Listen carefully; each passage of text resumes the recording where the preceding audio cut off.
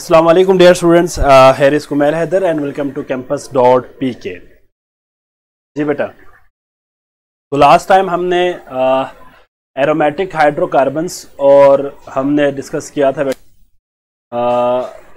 Aromatic hydrocarbon के साथ हमने अल्काइल हेलाइट्स को डिस्कस किया था। एक क्वेश्चन हम डिस्कस कर लेते हैं एमसीक्यूज के हवाले से।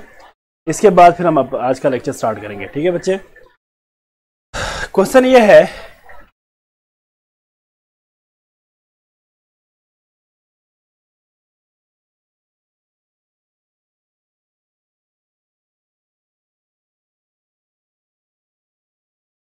Grignard reagent react with water to form alpha option है आपके पास अल्केन बीटा ऑप्शन है आपके पास अल्कीन चार्ली ऑप्शन है आपके पास, अल्काइन, और डेल्टा आपके पास है नन। जी बच्चे, वालेकुम सलाम वालेकुम सलाम भाई, वालेकुम सलाम बेटा।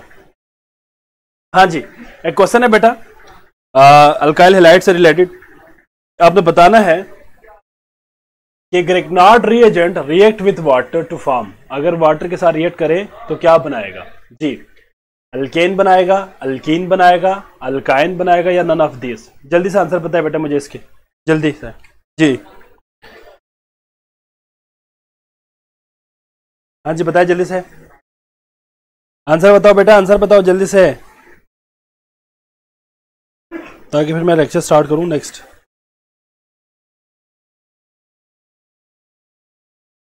जी बेटा।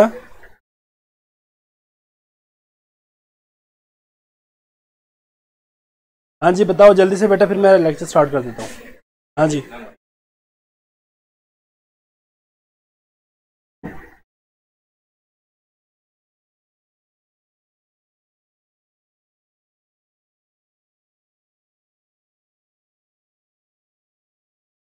बिल्कुल। एग्जैक्टली ठीक है बेटा? When Grignard reagent react with water to form क्या बनाएगा बच्चे? अल्केन बनाएगा। ठीक है? जो प्रोडक्ट होगा वो हमारे पास क्या होगा बेटा? अल्केन होगा। ठीक है? ज़रा मैं स्लाइड्स थोड़ा देख लेता हूँ। आज का आपका जो चैप्टर होगा, ठीक है।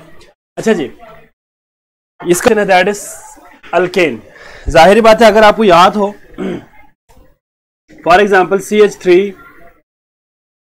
C H two M G for example B R है। अगर हाइड्रोजन और हाइड्रोक्सिल मीन्स यहाँ पे वाटर है, या एच टू ओ है। अगर ये आपस में रिएक्ट करे partial negative partial positive partial negative partial positive होगा। ठीक है बच्चे? आपको पता है कि जब भी आपस में रिएक्ट करती है बेटा तो ये हाइड्रोजन के ऊपर अटैक करेंगे, ये बॉन्ड यहाँ पे शिफ्ट हो जाएगा। जब ये बॉन्ड आपके पास हाइड्रोक्सिल के ऊपर शिफ्ट हो जाएँगे तो पहले आपके पास पार्शल नेगेटिव चार्ज था। अब होगा क्या? ये हाइड्रोजन यहाँ पे एड हो जाएँगे, ये बॉन्ड यहाँ से ब्रेक हो जाएँगे। याद रखिएगा बेटा, ये बॉन्ड यहाँ से ब्रेक हो जाएँगे। और ये हाइड्रोजन यहाँ पे ऐड हो जाएँगे। एज ए रिज़ल्ट आपके पास जो प्रोडक्ट बनेगा that is C H three C H पहले टू था, अब हमारे पास क्या होगा? सी एच थ्री हो जाएगा। प्लस मैग्नीशियम के साथ ब्रोमीन पहले से ही अटैच है। बी आर और साथ में एक और बी आर हाइड्रोक्सिल ग्रुप जो आपके पास ओ एच नेगेटिव है, वो यहाँ पे ऐड हो जाएँगे। तो यहाँ पे जो आपके पास प्रोडक्ट बनेगा दैट इज़ क्या होगा बेटा? अल्केन अल्केन ठीक है बच्चे? और साथ में आपके पास क्या बनेगा? Magnesium hydroxy bromide magnesium hydroxy bromide ये आपके पास प्रोडक्ट बनेगा। ठीक है बच्चे? हाँ जी ऑप्शन आपके पास ए है और इसकी जस्टिफिकेशन मैंने आपको यहाँ पर रिएक्शन बता दिया है। अगर कार्बन डाइऑक्साइड के साथ रिएक्ट करे तो क्या बनाएगा? जी, अगर कार्बन डाइऑक्साइड के साथ रिएक्ट करे तो बेटा क्या बनाएगा? याद रखिएगा कार्बोक्सिलिक एसिड बनाएगा। अगर कार्बन डाइऑक्साइड के साथ ग्रिग्नार्ड रिएजन रिएक्ट करे तो जो the main product will be आपके पास क्या होगा बेटा? कार्बोक्सिलिक एसिड होगा ठीक है? कार्बोक्सिलिक एसिड मेन प्रोडक्ट होगा आपके पास। I think so in reactions को आप एक दफ़ा रिवीजन करें तो आप इनके आंसर आप आ, कर सकेंगे पेपर के हवाले से ठीक है? और अच्छा जी चले आप आज का हमारा लेक्चर हम स्टार्ट कर देते हैं बेटा।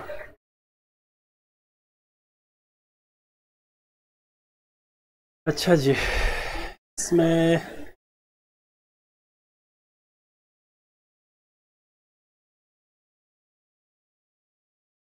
नवर यहाँ सेट करना है? नवर ये ज़रा ऐड कर यार। स्लाइड ऐड करना ज़रा।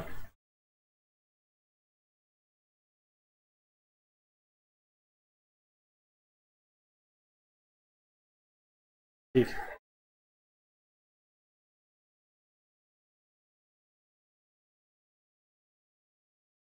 अच्छा जी बेटा आपके सामने स्लाइड शो हो रहा है। तो आपने आ, अपने स्क्रीन पे देखना है और साथ साथ इन रिएक्शंस को मैं एक्सप्लेन भी करूँगा। ठीक है बच्चे? तो आज का आपका बेसिकली चैप्टर है एल्डिहाइड एंड केटोन्स ठीक है? एल्डिहाइड एंड कीटोन बेटा याद रखिएगा जो कार्बोनाइल कार्बन है सी डबल बॉन्ड ओ ठीक है? इसके अंदर भी कार्बोनाइल कार्बन है सी डबल बॉन्ड ओ यहाँ पे डिफरेंट क्या होगा बेटा? एल्डिहाइड और कीटोन में एल्डिहाइड में एक साइड पे आपके पास कोई भी अल्काइल चेन होगा, और एक साइड पे या तो हाइड्रोजन ठीक है? एक साइड पे हमारे पास क्या होगा? मुकम्मल हमेशा हाइड्रोजन ही होगा। ठीक है बेटा? लेकिन जो आपके पास कीटोन है, उसके अंदर हमारे पास क्या होगा बच्चे? एक साइड पे अल्काइल ग्रुप एक साइड पे हमारे पास, दूसरे साइड पे भी अल्काइल ग्रुप या एराइल ग्रुप ए आर इसके अंदर भी अल्काइल ग्रुप या एराइल ग्रुप इसके अंदर भी अल्काइल ग्रुप या एराइल ग्रुप तो इस फंक्शनल ग्रुप को हम कहते हैं एल्डिहाइड और कीटोन ठीक है बच्चे? एल्डिहाइड और कीटोन आपने याद रखनी है बेटा, कि अगर कार्बोनाइल कार्बन के एक साइड पे हाइड्रोजन हो और बाकी एक साइड पे हमारे पास या तो अल्काइल ग्रुप हो अल्काइल ग्रुप हमारे पास मिथाइल है इथाइल है प्रोपाइल है। हाँ जी, और एराइल ग्रुप कौन सा बेटा? Aryl group is basically C six H five this is known as aryl group ठीक है? फिनाइल ग्रुप भी बोलते हैं, इसको एराइल ग्रुप भी कहते हैं। और ये आपके पास कोई भी अल्काइल ग्रुप हो सकते हैं। दोनों साइड पे आ जाए तो कीटोन है, एक साइड पे आ जाए तो क्या है बेटा? एल्डिहाइड है।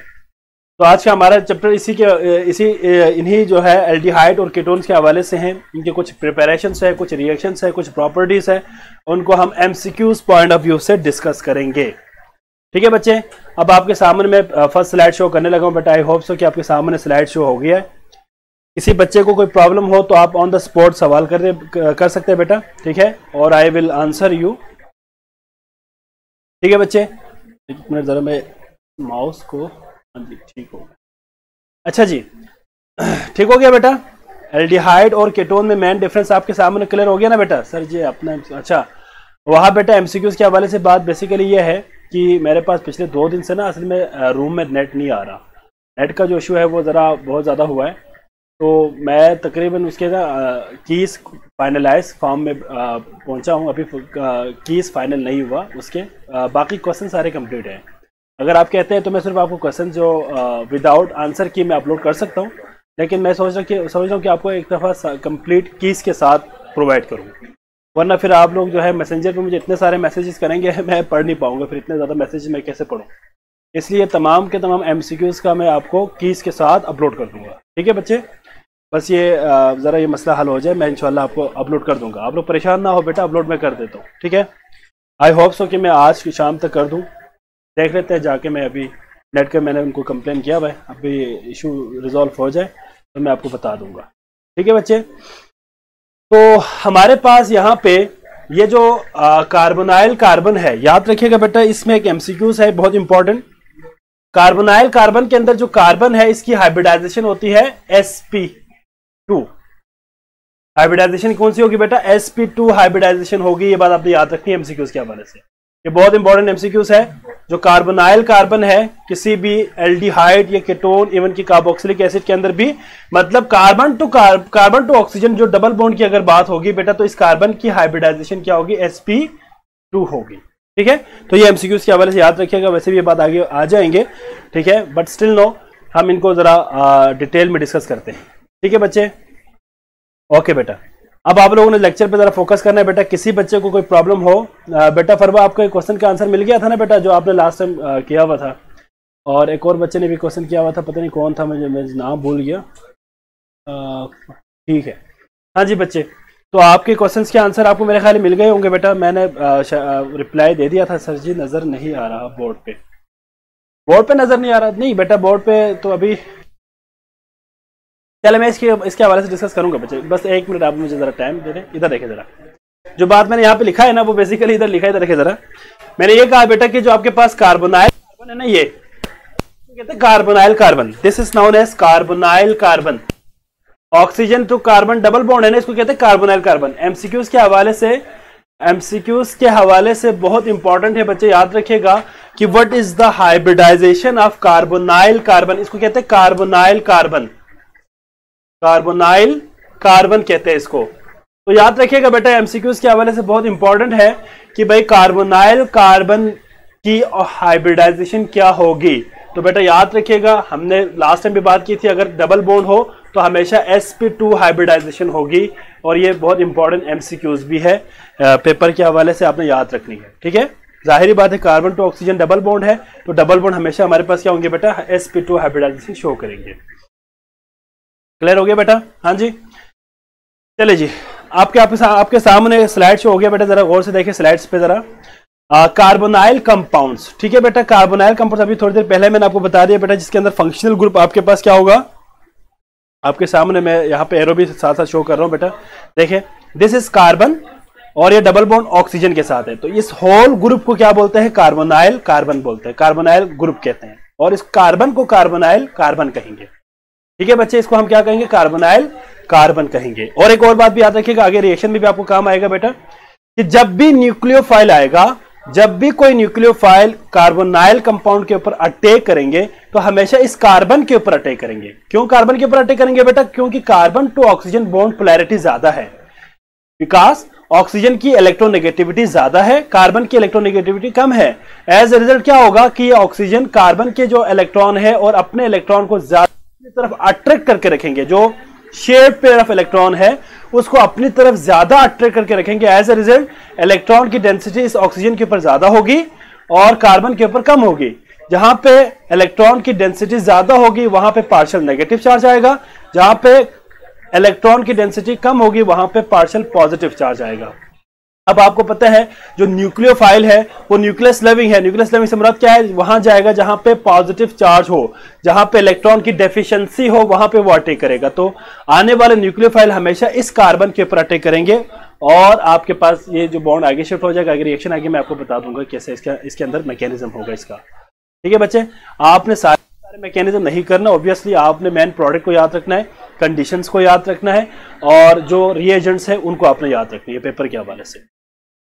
ठीक है बेटा, इसको हम क्या कहेंगे बेटा, वो तमाम कंपाउंड जिसके जिसके अंदर ये कार्बोनाइल कार्बन है, उनको हम कार्बोनाइल कंपाउंड्स कहते हैं, ठीक है?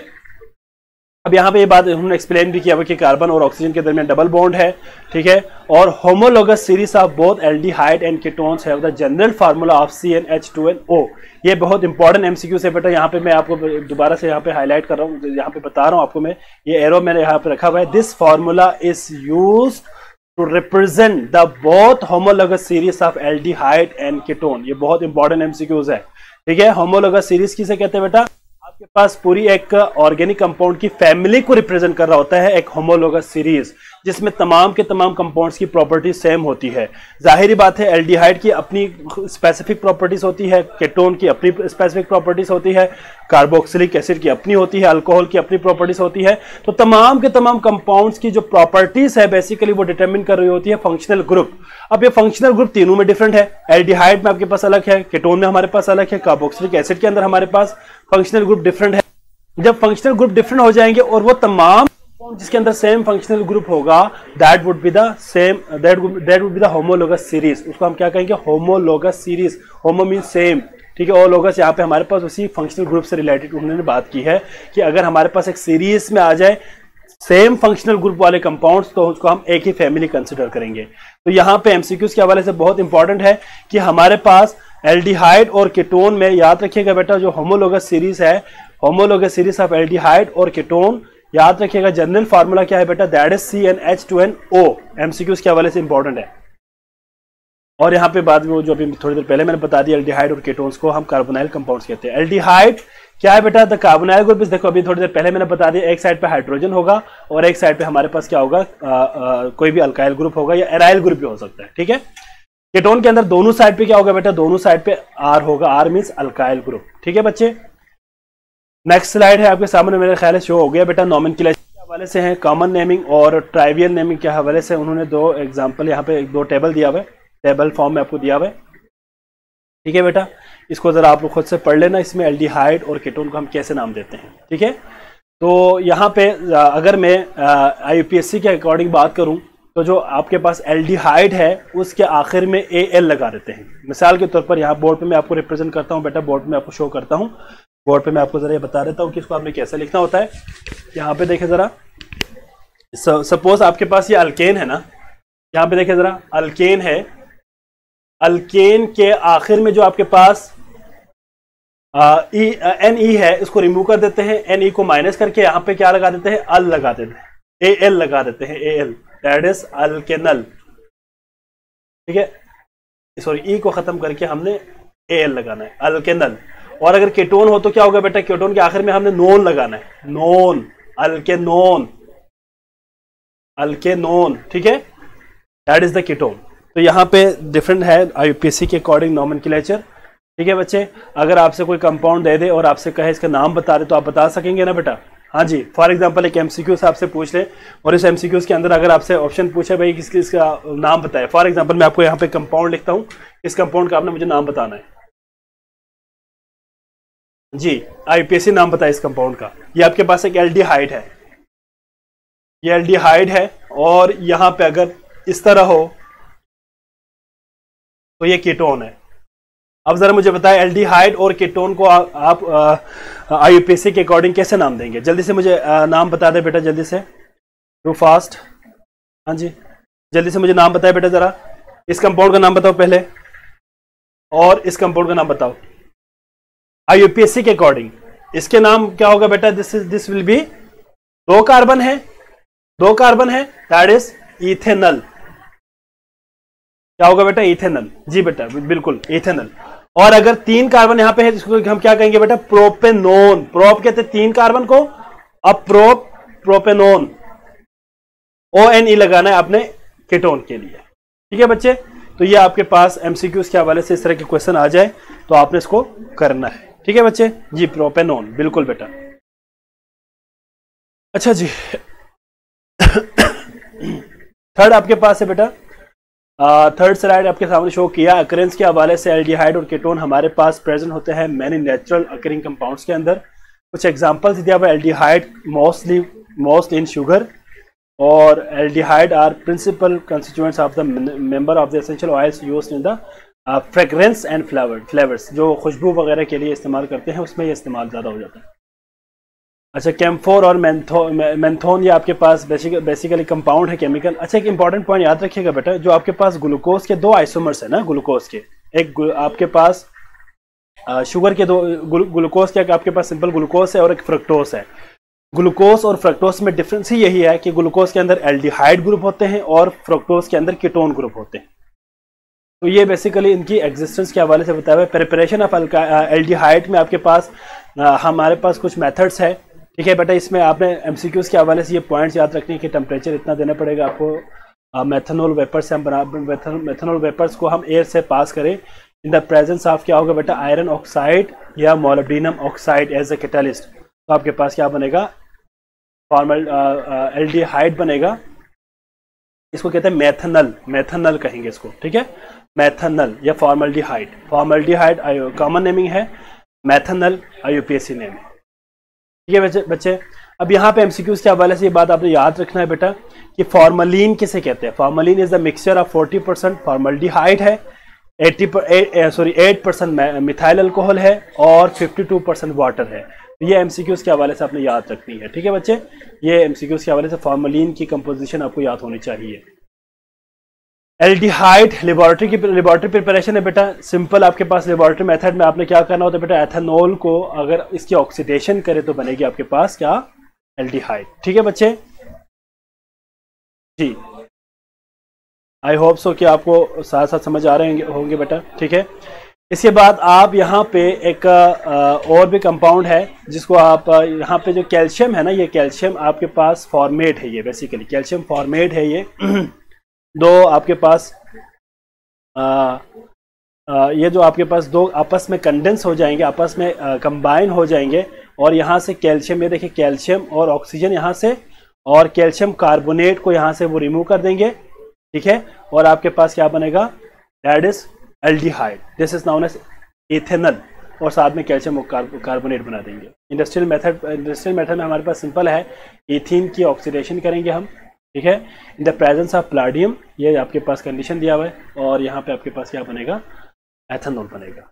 ठीक है बच्चा रिएक्टिविटी ऑफ़ इसमें आपके पास एमसीक्यूज जो आए, वो साथ साथ मैं डिस्कस करूँगा बेटा। यहाँ पे आपने जो एमसीक्यूज के लिए याद रखने वो मैं आपको यहाँ पे बताने लगा हूँ बेटा, जरा गौर से सुनना है। रिएक्टिविटी ऑफ़ कार्बोनाइल ग्रुप जो बहुत कार्बन एंड ऑक्सीजन और एसपी देखो ना, अभी थोड़ी देर पहले मैंने आपको कहा एसपी टू हाइब्रिडाइज्ड है। ठीक है, अगर आपसे पूछे पेपर में कि आपने बताना है कि भाई जो कार्बोनाइल कार्बन कार्बोनाइल ग्रुप में कार्बन की हाइब्रिडाइजेशन क्या होगी तो आपने क्या बताना है बेटा? एस पी टू एमसीक्यूज में अक्सर आया हुआ ये पेपर में। Reactivity of alkyl group is due to the polarity of देखो मैंने अभी थोड़ी देर पहले आपको कहा था इलेक्ट्रॉन डेंसिटी कार्बन ऑक्सीजन की तरफ़ ज़्यादा हो जाएँगे कार्बन की तरफ़ कम हो जाएँगे। एज ए रिज़ल्ट ऑक्सीजन के ऊपर पार्शल नेगेटिव चार्ज आएगा और इसके ऊपर पार्शल पॉजिटिव चार्ज आएगा। ठीक है बच्चे? अच्छा जी, और यहाँ पे यहाँ पे उन्होंने ये ई प्लस चीज़ शो कर रहे, किस चीज़ को शो कर रहे बेटा? ये ई प्लस है ना?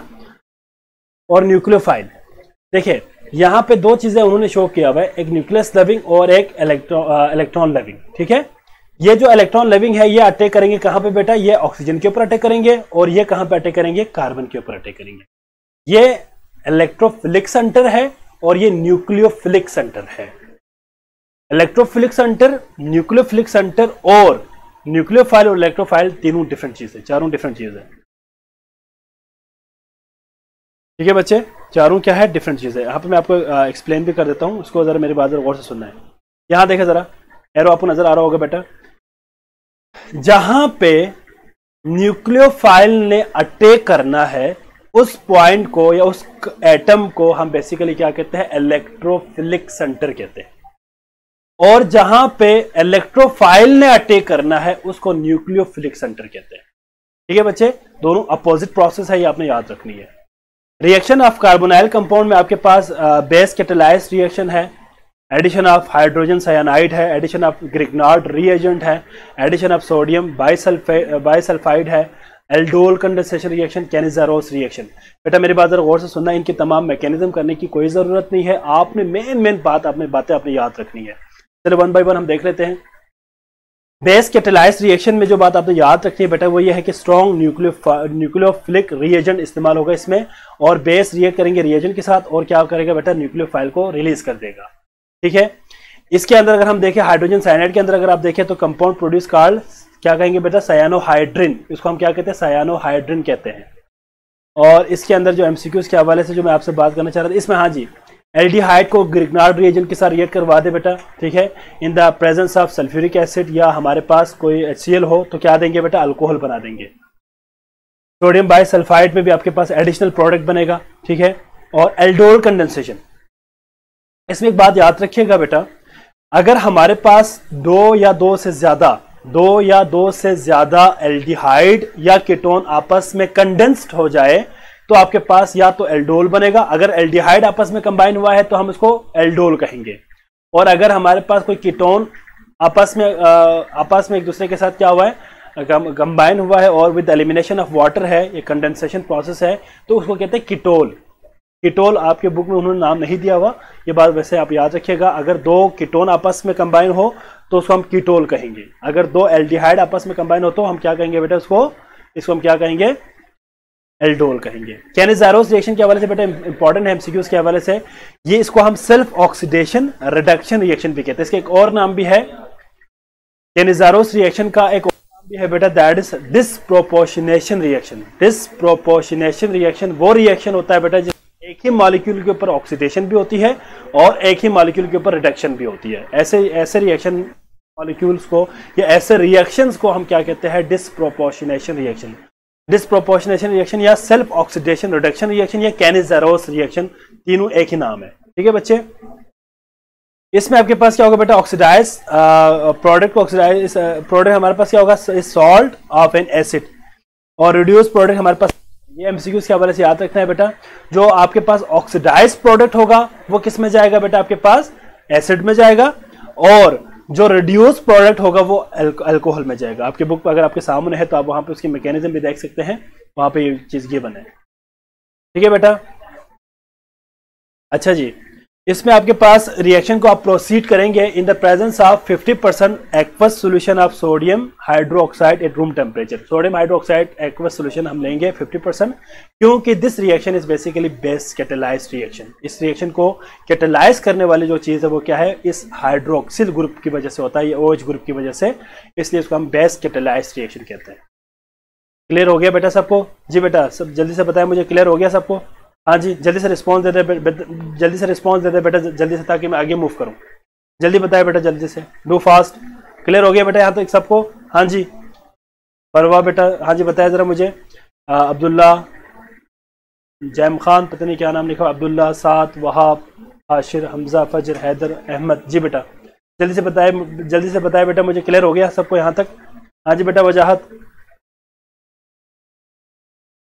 जी। बेटा जल्दी से मुझे कमेंट में बता, बता देना बेटा कि क्लियर हो गया सबको? ओके बेटा। वहाँ आपने कहा ठीक है। ओके हो गया जी। और हाँ जी क्लियर हो गया बेटा ठीक है। और बच्चे बस ठीक है। अब मैं ज़रा इसको मूव करता हूँ। हमजा ने भी कहा क्लियर है हैदर ने भी कहा क्लियर है बेटा ठीक हो गया बेटा वेरी गुड अब आप लोग ज़रा ज़रा गौर से सुनना है बेटा मैं अब आगे मूव करने लगा हूँ। अच्छा जी। नेक्स्ट आपके पास है बेटा दैट इज़ अच्छा जी ये आपके पास आ गया। कुछ और भी हमारे पास रिएक्शंस है? हेलो फार्म रिएक्शन ठीक है? यहाँ पे हमारे पास आ, आ, कोई भी हेलो कैसे कहते हैं? कोई भी हमारे पास क्या हो बेटा? हेलाइड ग्रुप इसके अंदर हो तो आइडो फार्म बनेगा येलो क्रिस्टलाइज क्रिस्टलाइन फार्म होगा बेटा ये आपने याद रखनी है। एसिड क्रिटलाइज रिएक्शन में हमारे पास प्रोटॉन कंबाइन होता है with aldehyde oxygen atom and increase the electrophilic character of the carbonyl carbon addition of ammonium ammonia derivatives है। इसमें आपके पास जो पॉइंट है वो आपने याद रखनी है। दैट इज़ फिनाइल हाइड्राजीन वगैरह बनेगा। इसमें जो मेन प्रोडक्ट होगा वो फिनाइल हाइड्राजीन है। रिडक्शन में हमारे पास क्या है बेटा? हाइड्रोजिनेशन है एल्डिहाइड के जो कि क्या देगा? प्राइमरी अल्कोहल देगा। एंड दैट ऑफ़ कीटोन की सेकेंडरी अल्कोहल जी बेटा, एक इंपॉर्टेंट पॉइंट यहाँ पे और आ आगे एमसीक्यूज के हवाले से। अगर हम हाइड्रोजिनेशन करते हैं एल्डिहाइड की तो हमेशा क्या बनेगा? प्राइमरी अल्कोहल बनेगा। और अगर हम कीटोन की हाइड्रोजिनेशन करें तो सेकेंडरी अल्कोहल बनेगा। Sodium tetra boro tetra hydroborate is source of hydrogen यहाँ पे जो आपके पास सोर्स ऑफ़ हाइड्रोजन है रिडक्शन के लिए, वो क्या है? Sodium tetra boro tetra hydroborate ठीक है?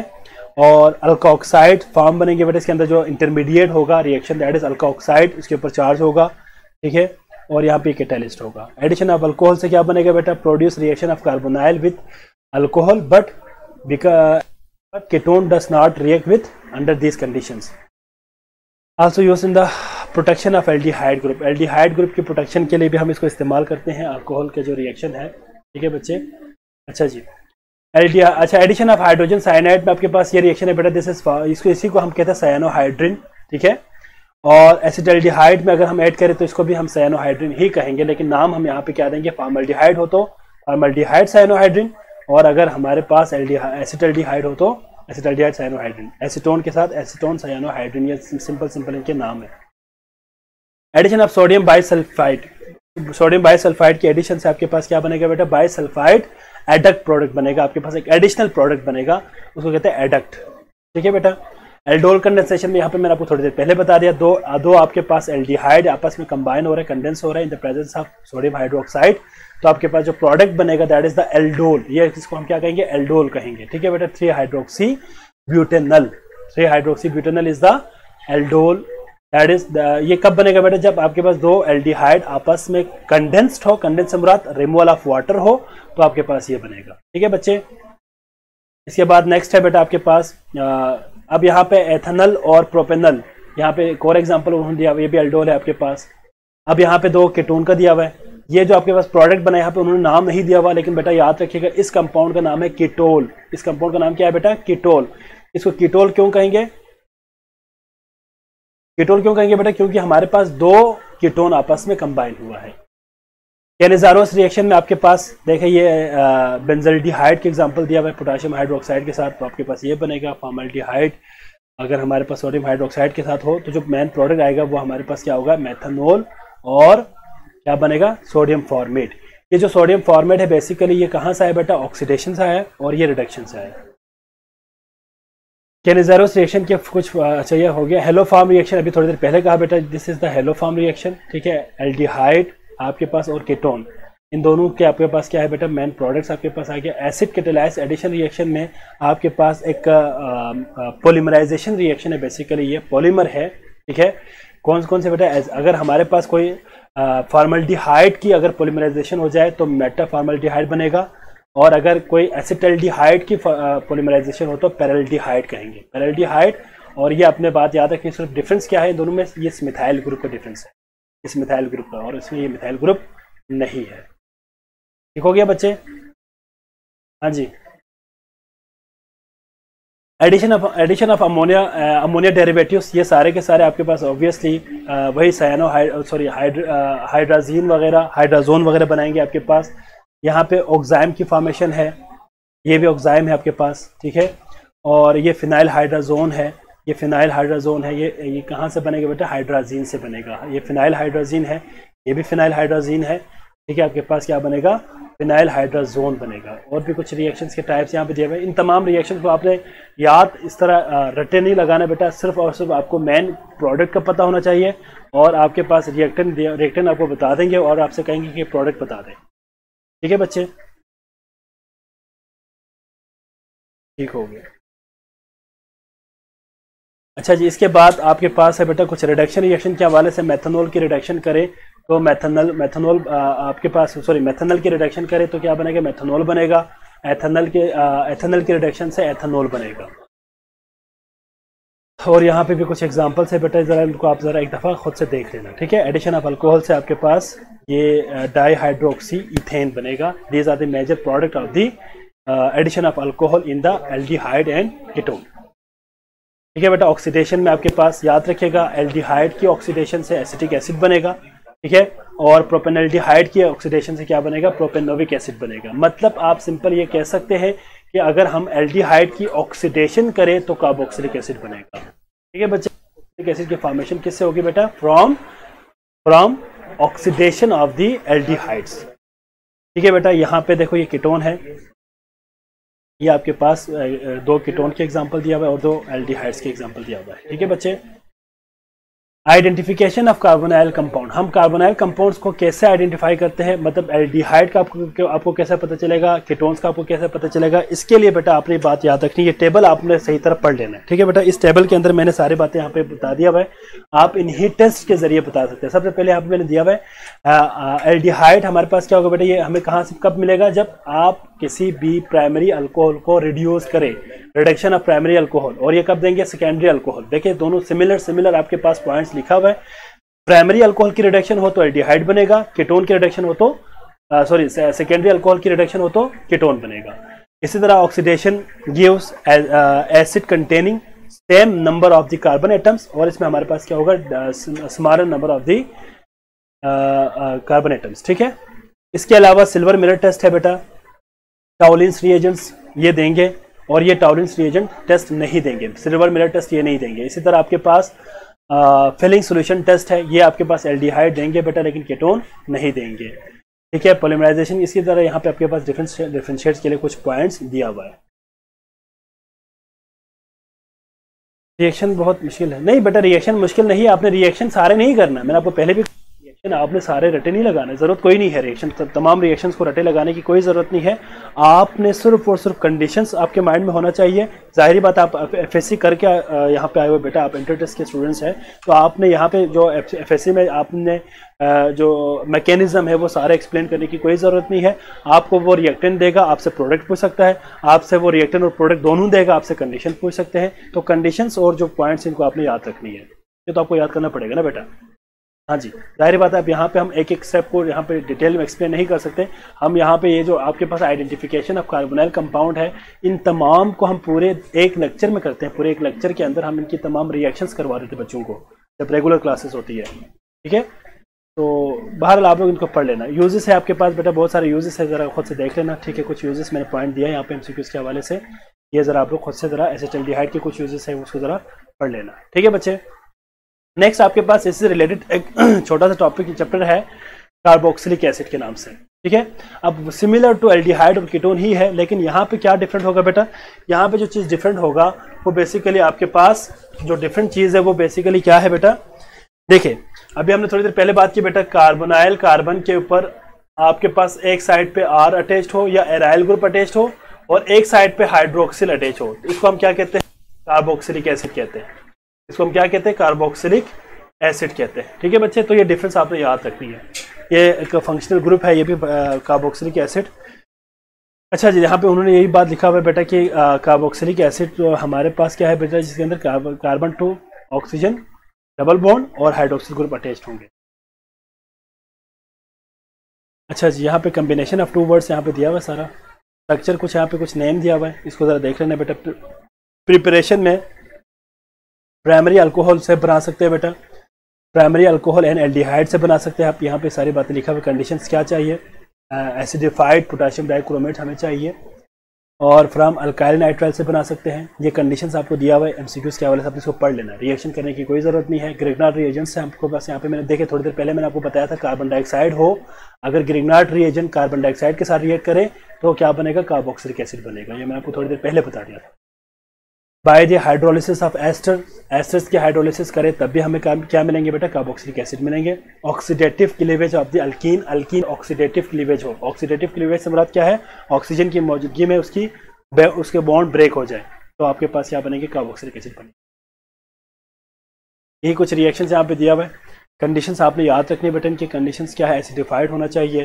अल्काइल नाइट्राइल के लिए भी आपके पास ये कंडीशंस होना चाहिए ग्रिगनाट रिएजन के लिए आपके पास ईथर होना चाहिए। ये एमसीक्यू के हवाले से इंपॉर्टेंट है बेटा कि ग्रिगनाट रिएक्शन हमेशा इनर्ड और ड्राई सॉल्वेंट के अंदर क्या करेंगे? रिएक्ट करेंगे। आपके पास ये प्रोडक्ट बनेगा। ठीक है? हाइड्रोलिसिस ऑफ़ एस्टर से भी आपके पास क्या बनेंगे बेटा? कार्बोक्सिलिक एसिड बनेंगे। बाय द ऑक्सीडेटिव क्लीवेज देखिए ऑक्सीजन की मौजूदगी में हम क्या कर रहे हैं? Carbon to carbon double bond को ब्रेक कर रहे हैं। तब भी हमारे पास क्या बनेगा?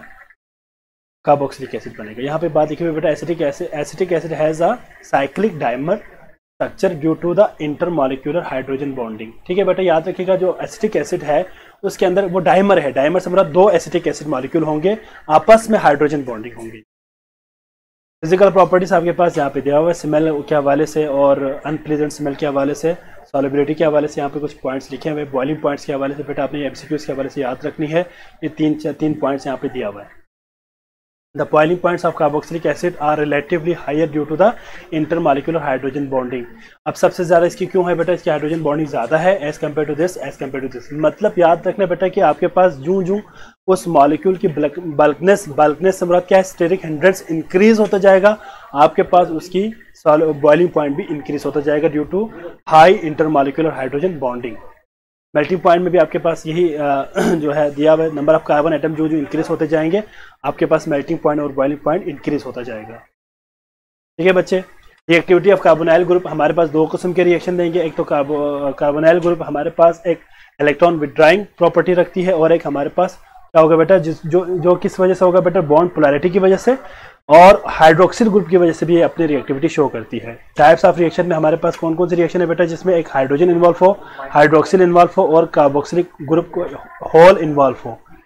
तो यहाँ पे सॉल्ट फॉर्मेशन की एग्जांपल दिया हुआ बेटा, इसको एमसीक्यूज के हवाले से देखिए पॉइंट्स आपने याद रखनी है क्या क्या कंडीशन चाहिए। ठीक है रिएक्शन इन्वॉल्विंग हाइड्रोक्सिल ग्रुप ये भी आपके पास कुछ पॉइंट्स बताए हुए यहाँ पे, इसको पढ़ लेना। और reaction involving carboxylic group whole carboxylic group complete अगर इन्वॉल्व हो फॉर एग्ज़ाम्पल यहाँ पे बोर्ड पे जरा देखिए बच्चे जरा। फॉर एग्ज़ाम्पल यहाँ पे मेरे पास एक कार्बो कार्बोक्सिलिक एसिड है C double bond O R O H एक रिएक्शन वो होगा जिसमें सिर्फ़ और सिर्फ़ ये हाइड्रोजन इन्वॉल्व होगा, ठीक है? एक वो रिएक्शन होगा जिसमें हाइड्रोजन और ऑक्सीजन कंबाइन दोनों आपस में कंबाइन होकर रिएक्ट करे। एक वो रिएक्शन जिसमें होल कार्बोक्सिलिक ग्रुप इन्वॉल्व हो तो तीन डिफरेंट टाइप्स के वो रिएक्शन आपको देंगे। और यहाँ पे एग्जांपल्स भी दिया हुआ है मैंने, यहाँ पे साथ साथ कौन कौन से रिएक्शन है? एमसीक्यूज के हवाले से आपने उनको याद रखनी है। ठीक है बच्चे? अच्छा जी। क्लियर हो गया बेटा सबको? यहाँ तक कोई मसला तो नहीं है इसमें? एसिटिक एसिड क्या है बेटा इसकी? एसिटिक एसिड की फॉर्मेशन है प्रिपरेशन यहाँ पे दिया हुआ है बेटा विनेगर है और आपके पास सिक्स टू टेन परसेंट आपके पास इसके अंदर एसिटिक एसिड जो विनेगर है ना विनेगर सिरका, वो बेसिकली आपके पास ten to six to ten percent acetic acid का सोल्यूशन है। यहाँ पे बेटा आपके पास फ्लेवर के हवाले से एम के हवाले से आपने याद रखनी है, ठीक है? ये कुछ मैंने यहाँ पे एग्जाम्पल्स दिया हुआ है। प्रिपरेशन ऑफ़ एसिटिक एसिड हम ऑब्वियसली अभी थोड़ी देर पहले बात की, बेटा ऑक्सीडेशन से बनाएँगे, ठीक है? ऑक्सीडेशन ऑफ़ एथनॉल से बनाएँगे hydrolysis of methyl cyanide this is methyl cyanide से भी आप बनाएँगे। रिएजेंट यहाँ पे दिया हुआ है इंडस्ट्रियल स्केल पे हम एसिटिलीन से बनाएँगे अल्काइन से बनाएँगे और ऑक्सीडेशन ऑफ़ एथनॉल से बनाएँगे, ठीक है? यहाँ पे कुछ एग्जाम्पल्स यहाँ पे दिया हुआ है। ये एम सी एमसीक्यूज के हवाले से इन पॉइंट्स को जरा पढ़ लेना बेटा, ठीक है? ये एम सी एमसीक्यूज के हवाले से बहुत इंपॉर्टेंट है। लेबोरेटरी प्रिपरेशन में आपके पास ऑक्सीडेशन है, वही बात दोबारा रिपीट हो रही है बेटा, सारे के सारे वही बात ऑक्सीडेशन से आप बनाएँगे, ठीक है? और यहाँ पे आपके पास किससे बनाएँगे बेटा? मिथाइल साइनाइड से बनाएँगे। इंडस्ट्रियल प्रिपरेशन वही जो रिएक्शन अभी थोड़ी देर पहले हमने बता दी बेटा एसिटेलिन से हम बनाएँगे इसको, और ऑक्सीडेशन ऑफ़ इथाइल अल्कोहल से भी बना सकते हैं। दो तीन स्लाइड्स रह गई उसको ज़रा हम वाइंड अप कर देते हैं। ठीक है बेटा? फ़िज़िकल प्रॉपर्टीज़ भी आपके पास यहाँ पे एमसीक्यूज के हवाले से दिया हुआ है बेटा इनको ज़रा आप लोग पढ़ लेना देखें मेल्टिंग पॉइंट क्या है बॉइलिंग पॉइंट क्या है। ठीक है बेटा? यूज़ यहाँ पे दिया हुआ है। अमाइनो एसिड्स क्या है बेटा? बेटा यहाँ पे आपने एमसीक्यूज के हवाले से कुछ पॉइंट्स आपने जिससे याद लाजमी रखना है बेटा। अमाइनो एसिड्स वो वो वो कंपाउंड्स होते हैं जिसके अंदर अमाइनो ग्रुप अमाइनो ग्रुप कौन सा ग्रुप होता है बेटा? एन ग्रुप ये इस, इसको हम अमाइनो ग्रुप कहते हैं एन ग्रुप इसको अमाइनो ग्रुप कहते हैं। और साथ में आपके पास C double bond O O H group ये ग्रुप भी हो। ये ग्रुप और ये ग्रुप दोनों कंबाइन अगर हमारे पास किसी कंपाउंड के अंदर आ जाए तो उसको हम कहते हैं अमाइनो एसिड्स इसको हम क्या कहते हैं? अमाइनो एसिड्स कहते हैं। यहाँ पे आपके पास एम के हवाले से अल्फ़ा कार्बन किसे कहते हैं? यहाँ पे लिखा हुआ है। बीटा कार्बन किसे कहते हैं? और गेमा कार्बन किसे कहते हैं? ठीक है बेटा? इसको ज़रा मैं आपको, चलो बोर्ड पे समझा देता हूँ।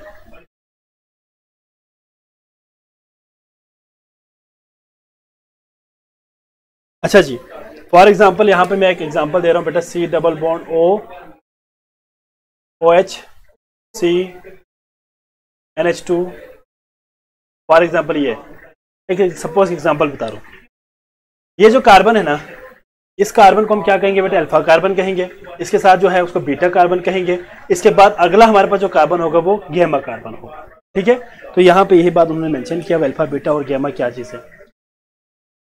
ज़ाहिर बात है बेटा, हमारे पास वो तमाम अमाइनो एसिड्स जो हमारी बॉडी सेंथिसाइज नहीं कर सकते, उनको हम एसेंशियल अमाइनो एसिड्स कहते हैं, और जो हमारी बॉडी सेंथिसाइज कर सकते हैं, उसको हम नॉन एसेंशियल कहते हैं। टाइप्स ऑफ़ अमाइनो एसिड हमारे पास अल्फ़ा अमाइनो एसिड्स है बीटा अमाइनो एसिड्स है, और गेमा अमाइनो एसिड्स है। यहाँ पे उनके एग्जांपल्स के साथ साथ आपको उनकी डेफिनेशन के लिए कुछ पॉइंट्स यहाँ पे मेंशन है। ये कुछ और आपके पास एमसीक्यूज के हवाले से दिया हुआ सारे स्ट्रक्चर याद करने की ज़रूरत नहीं है। जो आपने याद रखनी है, वो ये दोनों है। ग्लाइसिन आपके पास न्यूट्रल है, एलानिन आपके पास न्यूट्रल है, ये आपके पास एस्पार्टिक एसिड, आपके पास एसिडिक है मतलब आपके पास अमाइनो एसिड अमाइनो एसिड के तीन टाइप्स है। एक बेसिक अमाइनो एसिड और एक एसिडिक अमाइनो एसिड और एक आपके पास न्यूट्रल जो न्यूट्रल है, उसमें कार्बोक्सिलिक एसिड के नंबर और अमाइनो ग्रुप की तादाद आपस में बराबर होगा। जो एसिडिक है, उसके अंदर कार्बोक्सिलिक ग्रुप की तादाद ज़्यादा होगा अमाइनो ग्रुप की तादाद कम होगा। जो बेसिक है, उसमें अमाइनो ग्रुप की तादाद ज़्यादा होगा और कार्बोक्सिलिक ग्रुप की तादाद कम होगा। तो यहाँ पे ये एमसीक्यूज के हवाले से आपने स्टेबल को सिर्फ़ इस पॉइंट को आपने याद रखनी है। ठीक है बेटा? ये बहुत इंपॉर्टेंट है। अच्छा जी जिविटर आयन किसे कहेंगे बेटा? वो आयन जिसके ऊपर हमारे पास क्या होगा बेटा? पॉजिटिव और नेगेटिव आयन दोनों होगा। ठीक है, यहाँ पे देखिए आपके पास अमाइनो एसिड हमारे पास जिविटर आयन के फॉर्म में एग्जिस्ट करती है। ठीक है बच्चे? अब यहाँ पे शिफ्टिंग ऑफ़ प्रोटॉन की वजह से मेटामेरिज्म की वजह से शिफ्टिंग ऑफ़ प्रोटॉन अमोनी की तरफ़ चले जाते हैं। न्यूट्रल एसिडिक और बेसिक अभी थोड़ी देर पहले मैंने आपको बात बता दी बेटा यहाँ पे सारी बातें वहाँ पे लिखी हुई है।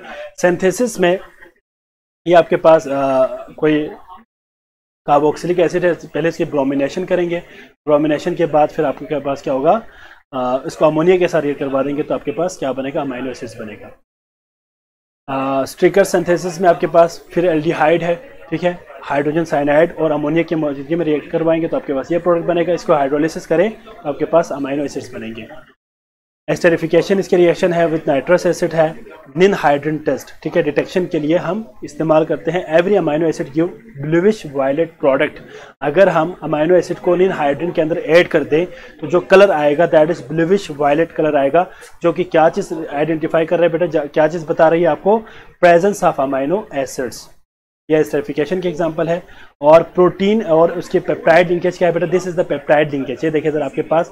यहाँ पे एक अमाइनो एसिड का कार्बोक्सिलिक ग्रुप के ओ OH और एक अमाइनो एसिड का अमाइनो ग्रुप के हाइड्रोजन ये कंडेंस होकर वाटर बना देगा और ये आपस में कंबाइन हो जाएगा और ये आपके पास ये बोन बनेगा। इस बोन को कहते हैं पेप्टाइड लिंकेज ठीक है बच्चे?